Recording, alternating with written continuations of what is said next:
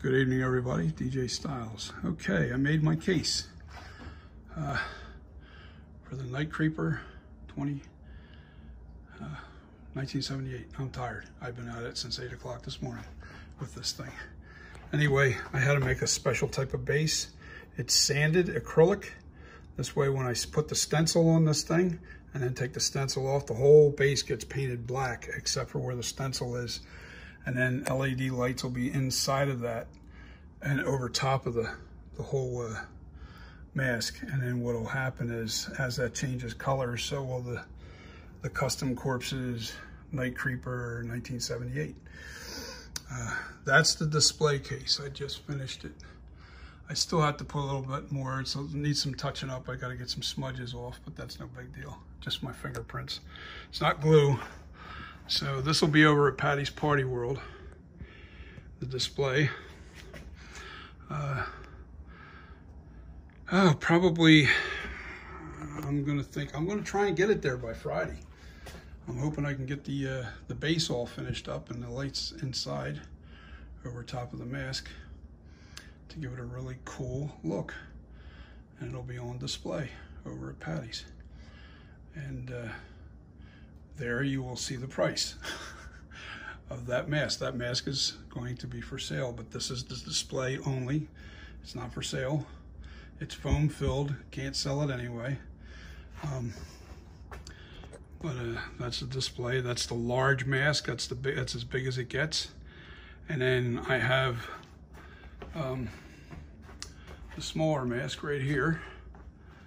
That's uh, uh, from the brow around the head circumference is 25 inches. And uh, this large one here is 27 inches. So 27 versus 25. Um, might be 26. By the time it shrinks up a little more, it'll probably be closer to 25 and a half or something like that. And uh, I started painting.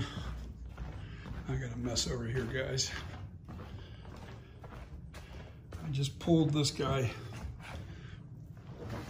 ah, yesterday afternoon, late afternoon. And uh, that's got to cure up some more. But that's looking good. The case is all set. I've got three masks that will be up, uh, ready for sale. Um, I still got to paint them and hair them. But that's tomorrow's project after I get the case completed. I have to get the case completely done. So uh, with that being said, you guys have a wonderful day. And uh, I'm sorry, I am I'm breathing heavy even. I'm tired. I'm so tired. Whew. Wore myself out today. That case is no fun. That, that doing that acrylic. Um, it's a big, big display case, and uh, not an easy task. Trying to get that thing put together and making sure you don't get any smudges on it or glue. Thank God the glue dries almost instantaneously when you put it together. Strong bond too. It actually melts the, the, the plexiglass together. It doesn't, uh, it's not a glue. So anyway, that's, that's the case. These are gonna be the three masks. I started toning this with the flesh tone. I like to do these by hand. I'm sorry, I'm not a big airbrush fan. I like the airbrush, but it doesn't, it takes away some of the, it makes it too smooth looking. I think uh, uh, I'm gonna keep layering the, the, flesh until I get it the right, where I want it. I've only just started, I just put a, a flesh wash on it. And what it does is it gives you variations in tone. You see? It gives you variations and that's that's a good thing. That's what you want. You want variations in, in the color.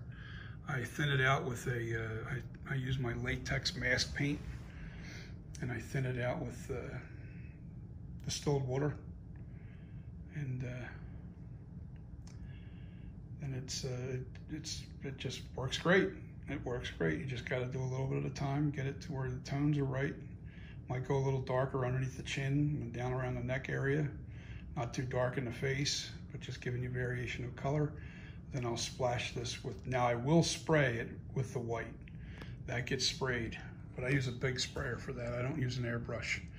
I am going to switch to an airbrush, but I just got to get a better airbrush. The airbrush I got's just not good enough for that kind of uh, detail.